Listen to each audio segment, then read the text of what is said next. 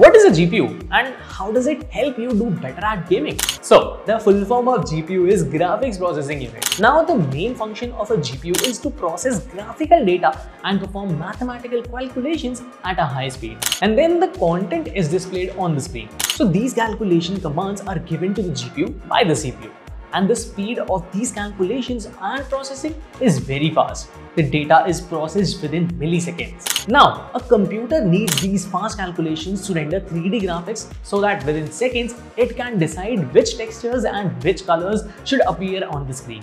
The more advanced your GPU is, the faster these calculations will be and the more frames you will get. And that's why a good graphics card can provide you a better gaming experience. And a fun fact, the fastest GPU speed recorded so far is 4020 MHz, which was achieved by Alan Golub Search in 2023 when he overclocked an Asus RTX 4090 to set a